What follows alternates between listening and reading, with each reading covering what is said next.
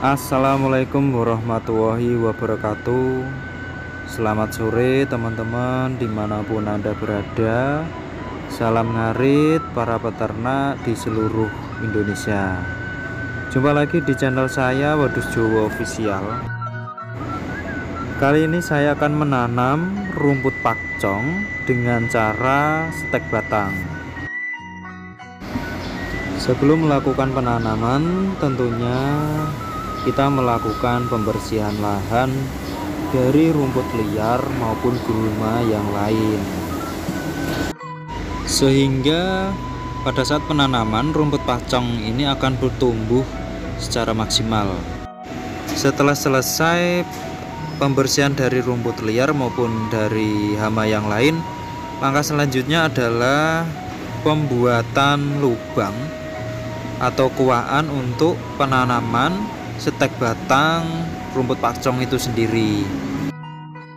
Lahan yang saya gunakan adalah lahan yang tidak digunakan atau tidak produktif dan kebetulan lahan tersebut di pinggir aliran irigasi.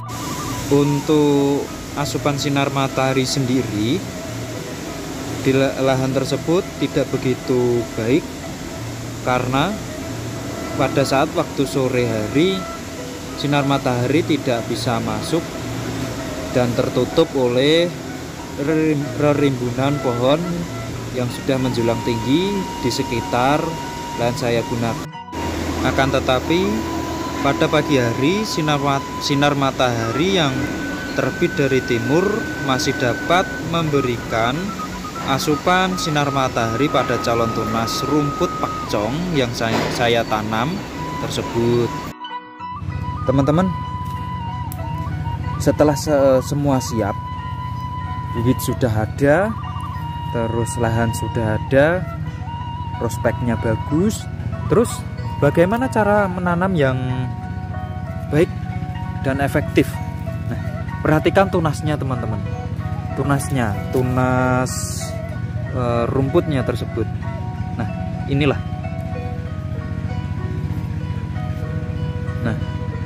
ini teman-teman ngeblur ya. Wes saya saya fokuskan dulu teman-teman.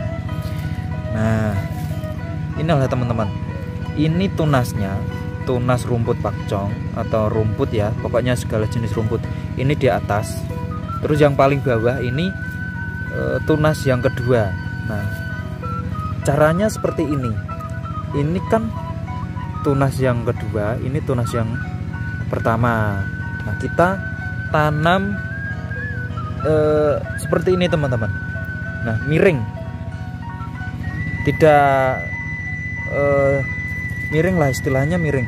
Ini tunas yang pertama yang akan kita timbun tanah. Tetapi tunas yang kedua ini masih e, istilahnya berlawanan arah. Sehingga tidak tertimbun semua saya contohkan seperti ini. Ini ada dua. Saya nah seperti ini ya teman-teman. Ini tunas yang pertama. Ini tunas yang kedua. Menghadapi seperti ini. Terus yang kedua juga sama. Nah lihat dulu. Lihat dulu tunasnya itu di mana. Nah ini tunas yang kedua. Ini tunas yang pertama yang di yang di atas ini tunas yang ketiga ini, ini bukan ini yang pertama yang di bawah ini yang di tengah terus yang ini yang di atas. Menghadapi juga sama seperti ini diatur. Nah, terus ditimbun. Nah ditimbun tanah. Tanahnya pun jangan eh, jangan dipenek ya teman-teman. Jangan dipadatkan istilah. Jangan dipadatkan. Nanti akan sulit tumbuhnya. Tunas yang ada di bawah akan sulit timbul ke atas. Nah cukup seperti ini saja. Nah udah cukup. Nah terus setelah semua tertimbun atau sudah kita tutup kita tutup tanah pasti yang akan muncul pertama kali adalah tunas yang paling atas yang seperti ini. Ini akan muncul duluan. Sebelum e, tunas yang pertama ini yang di bawah ini pasti ini dulu di atas dulu yang paling yang akan muncul ke atas akan tumbuh ke atas. Selanjutnya yang di bawah itu mengikuti. Nah beda lagi kalau kita tanam saya, saya tak cukup no contoh. Nah koyok ini ki bujuring ini kita teman-teman. Asal kita tanam terus kita timbun semua. Ini beda loh teman-teman. Nah kalau cara seperti ini yang kita takutkan eh, tunas tersebut tidak bisa tumbuh tumbuh ke atas malah mengalami pembusukan karena curah hujan yang terlalu banyak. Maka dari itu saya memilih seperti ini teman-teman. Tunas yang di bawah saat timbun terus yang atas ini masih kelihatan. Masih kelihatan steknya stek rumput pakcong walaupun e, curah hujan banyak pasti akan tumbuh semua. Nah di atas tumbuh dulu terus di bawah akan tumbuh.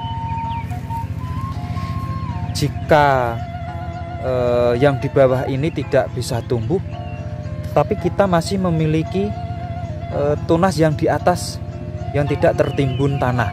Nah sehingga rugi satu tetapi kita masih punya eh, bakalan tunas yang di atas nah sehingga kita tidak rugi dalam menanam rumput tersebut Nah seperti itu teman-teman cara saya yang sederhana eh, tetapi masih bisa menghasilkan tunas-tunas rumput tersebut.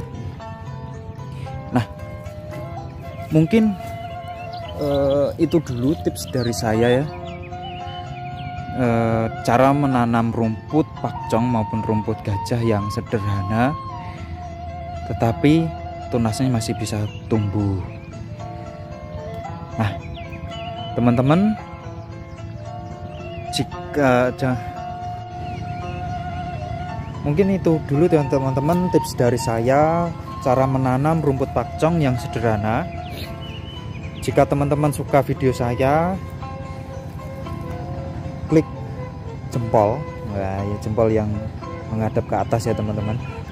Jika bermanfaat, boleh di-share ke teman-teman yang lain agar teman-teman eh, sepengaritan mengetahui informasi yang saya berikan.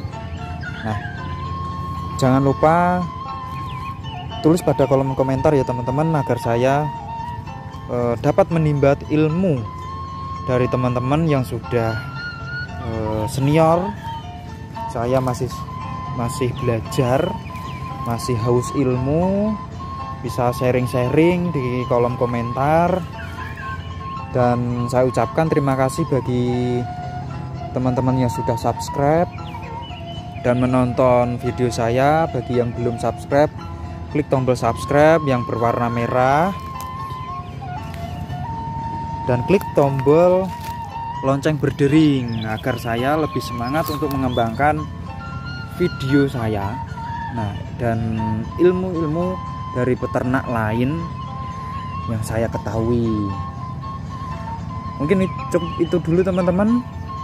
Eh, akhir kata saya ucapkan assalamualaikum warahmatullahi wabarakatuh